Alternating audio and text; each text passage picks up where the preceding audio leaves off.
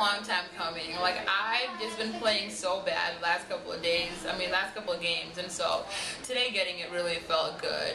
Got Were you satisfied? Because I know you weren't satisfied until you got to that 10 mark on rebounds. Talk about that.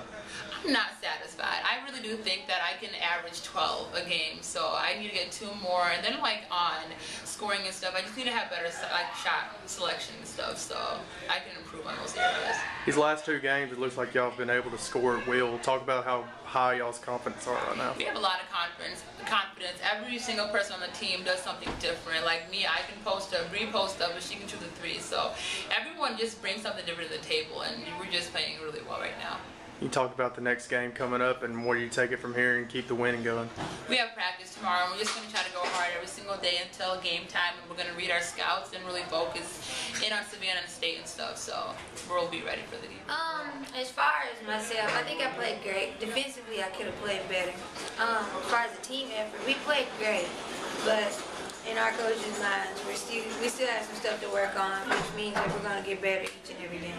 Y'all shot the most free throws that you have all season. You shot 9 of 12 from the line. Just talk about getting to the line. It seemed like y'all were there every other play.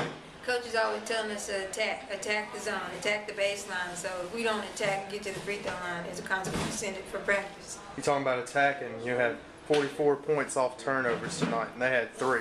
Talk about the mindset that you have when you get the ball, just going to the goal. You hear Coach Schaefer yelling from the sidelines, transition, transition, secondary, secondary. So it really comes from that, not turning the ball over as well too. And then talk about also when y'all do turn it over, not letting the other team get points. Um, cause we have the mindset if you turn it over, you better get it back as fast as you can.